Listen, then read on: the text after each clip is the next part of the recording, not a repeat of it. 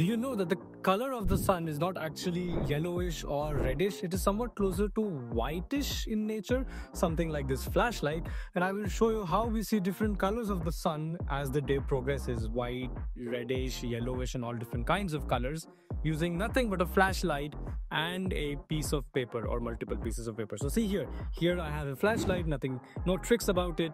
As I turn the paper over, different wavelengths of light are absorbed depending on the quality of the paper and I see a different color altogether. Now this is purplish. I will show you a reddish color now. See carefully.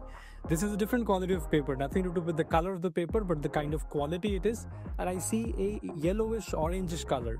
And this is exactly how the sun works I mean, this is how we see how the sun works yellowish, reddish, depending on what wavelengths of light are scattered as the light coming from the sun is absorbed or scattered by different layers of atmosphere on Earth. Follow for more such videos.